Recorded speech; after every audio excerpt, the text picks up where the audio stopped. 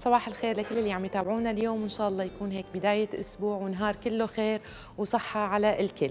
اليوم وصفتي يعني مثل العادة نحن أو أنا بحاول هيك يوم السبت أعمل لكم وصفة صحية تكون سريعة وظريفة ومغذية وفيها كثير عناصر غذائية. فاليوم طبقنا صحي اللي هو الكراكرز أو بسكوت مالح. أكيد صحي مع تغميسة اللبنة والزيتون. كمان التغميسة في لها هيك مكونات كمان كثير بتلبق لبعض. التغميسة رح نتركها للفقرة الثانية بس هلأ بالفقرة الأولى رح نجهز البسكوت المالح أو الكراكرز اللي ممكن ناخده هيك كسناك أو مثلا مثل ما رح نعمل اليوم.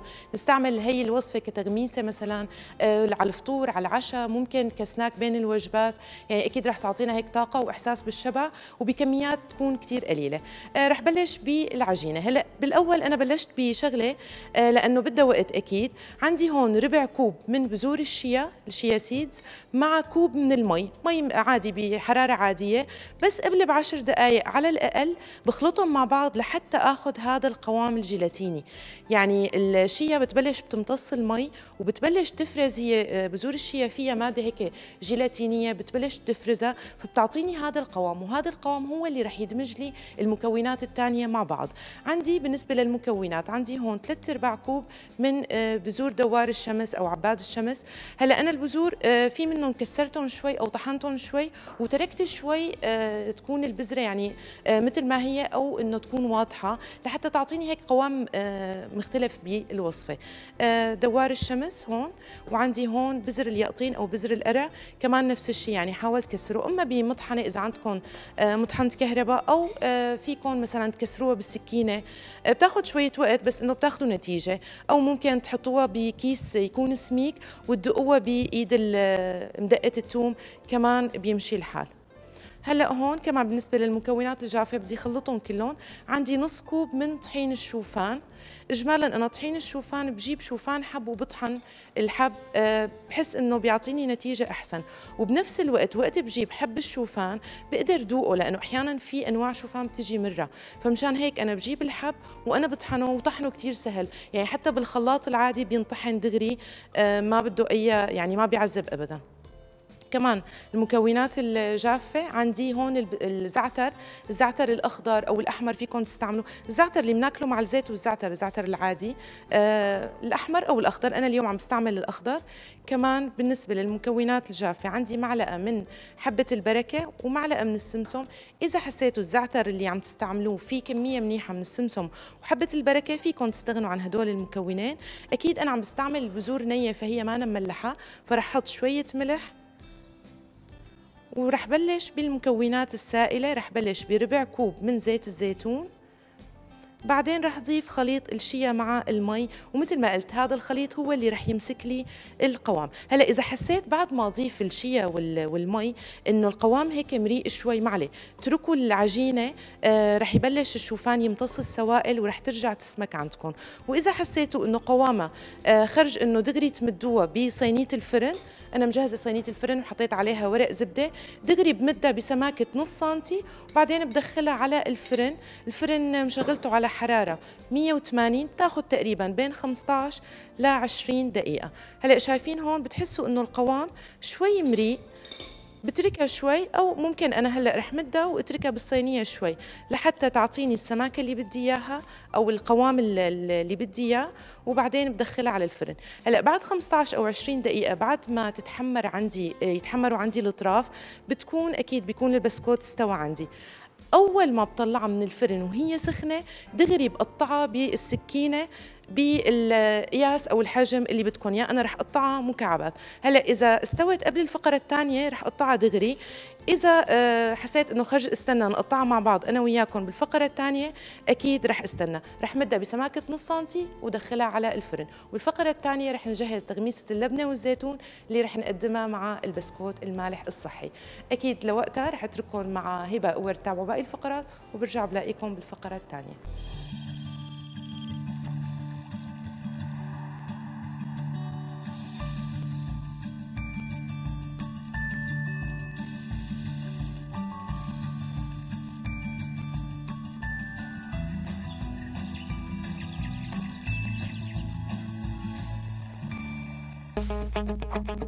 افتحوا أبواب المستقبل واكتشفوا الأفق الواسع مع مركز جلجامش. استعد لرحلة تعليمية استثنائية تجعلك تبرع في عالم السياحة والضيافة وإدارة الأعمال. فأنت مرحب بك معنا مهما كان عمرك أو شهادتك. لتعيش في متعة الخبرات العملية والأكاديمية لتصبح مهيئا لجميع فرص العمل التي ستكون بانتظارك بعد حفل التخرج السنوي الذي ستكون أنت بطله وبشهادة دبلوم معتمدة عالميا. ومهما كنت بعيدا فمواصلاتك مؤمنة. لا حدود للإبداع والتطور مع مركز جلجامش. نحن بانتظارك. يسعد صباحكم عن جديد. صار الوقت لحتى نكمل وصفتنا لليوم. اليوم عم نعمل وصفات صحية. بالفقرة الأولى جهزت معكم البسكوت المالح أو الكراكرز اللي ممكن نحن نستبدله بالخبز. هلأ أنا طلعته من الفرن بس لحتى فرجيكم كيف شكله وكيف مديت العجينة. آه، هي لسه بدها شوية آه، وقت بدها تقريبا خمس دقائق بس أنا بهي المرحلة وهي لساتها طرية أول ما بطلعها من الفرن ممكن أقسمها بصير تقسيمها أسهل من إنه آه، تتحمر وتقرمش أو وقت بطلعها وهي مستوية وبتركها تبرد. فانتم يا أما كملوا سواها لبين ما تاخذ هيك لون ذهبي أغمق من هذا اللون أو آه، فيكم تطلعوها هيك قبل ما تستوي بشوي وتقسموها بالحجم اللي بدكم إياه وبعدين ترجعوا تحطوها بالفرن لحتى تكمل استواء. هلأ أنا رح أقطعهم هيك مربعات آه، وما بنكبرهم لأنه هن يعني صح صحي بس هن فيهم دهون نسبة دهون عالية. مشان هيك يعني حط آه، عملوهم قطع صغيرة لحتى يعني اللي بده بياكل أكثر من قطعة أو مثلا اللي بده بياكل قطعتين ثلاثة وبكفي. آه، أهم شيء بهي الوصفة إنه ما فيها منتجات الطحين ما فيها طحين القمح. منتجات القمح. فكتير ناس بيسألوني عن وصفات خالية من الجلوتين. فهي الوصفة كثير بتناسبهم. هلأ أنا رح أرجع رجع على الفرن تقريبا خمس دقائق لبين ما تستوي استواء كامل وتتحمر وبكون أنا مقطعتها وبتصير جاهزة للتقديم. شو رح نقدم معاها؟ رح نقدم معاها تغميسة اللبنة. عندي هون نص كيلو من اللبنة. هلأ فيكم تستعملوا لبنة آه، خالية من الدسم أكيد. هي بترجع حسب آه، شو حابين آه، تستعملوا منتجات ألبان. عندي هون نص كوب من الزيتون الأخضر. أنا عم بستعمل مقطع شرائح. أكيد فيكم تستعملوا أي نوع كمان من الزيتون الأخضر أو الأسود كمان كله بيطلع آه، طيب وصحي. عندي هون ربع كوب من الرمان.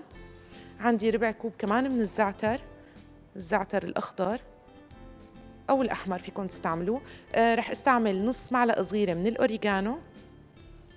آه، الملح رح أتركه لآخر شيء بعد ما خلط كل شيء وبدوق بعدين آه، بشوف إذا بدها ملح ولا لا. لأنه أحيانا ممكن إذا اللبنة عاملينها بالبيت تكونوا أنتم ملحينها. الزيتون ممكن يكون مالح. وهلأ رح اضيف كمان آه، معلقة صغيرة من دبس الرمان. ممكن كمان يعني الملوحة تبع هي المكونات تكفيني. فمشان هيك خلطوها بعدين دوقوها وشوفوا إذا بدها ملح أو لا.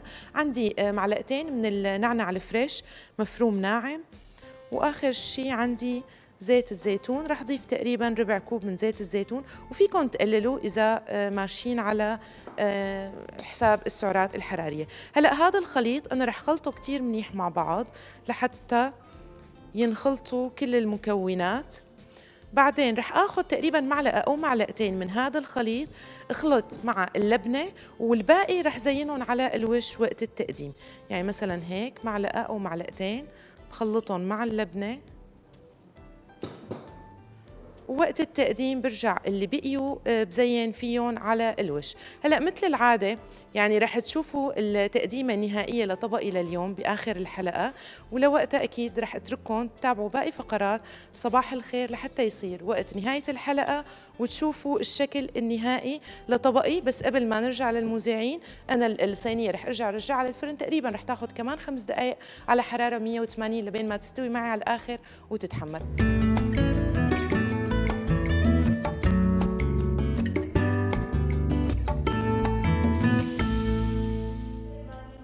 يسعد صباحكم عن جديد. وصلنا لآخر الحلقة وأكيد وصفاتي صاروا جاهزين. اليوم عملنا بسكوت مالح صحي مع تغميسة اللبنة والزيتون. أكيد فيني احضر أنا كل وصفة لحالها وأخذها أكيد مع مرافق صحي.